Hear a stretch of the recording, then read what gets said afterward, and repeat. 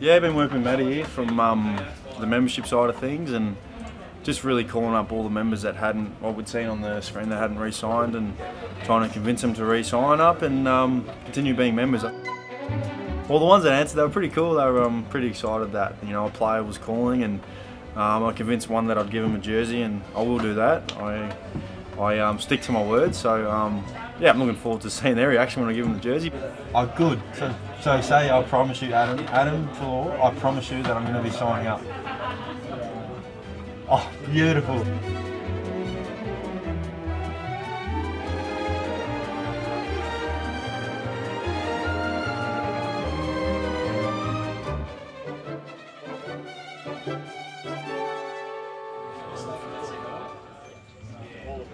Amazing membership stuff. Richard, Richard, yes. Someone answered the call. Richard, mate, it's um, Adam Treloar here from the Collingwood Footy Club. And this year's the year, mate. This is a good year for us. Oliver. Oh, much appreciated. Thanks for uh, taking the time out to answer the call anyway. Alright, see ya. You can do that. I knew that you could. I was Yeah, one yeah, yeah, yeah, yeah. Oh, it could be mine. We'll just call it a yes. That's a yes, Cleary. Over here. G'day, John. It's Jeremy Howe from the Collingwood Football Club. How are you? Oh, it's, it's hard. It's hard work.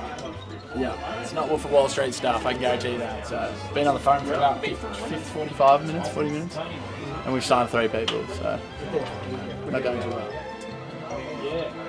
Couple, couple asked who I am, so I kind of have to explain a bit then. But um, I didn't get many actually answer me, to be honest. So had a few and a few successful.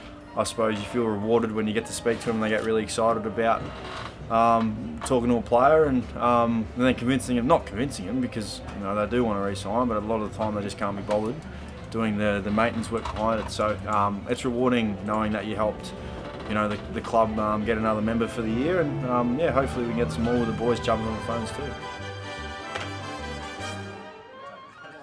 Yes!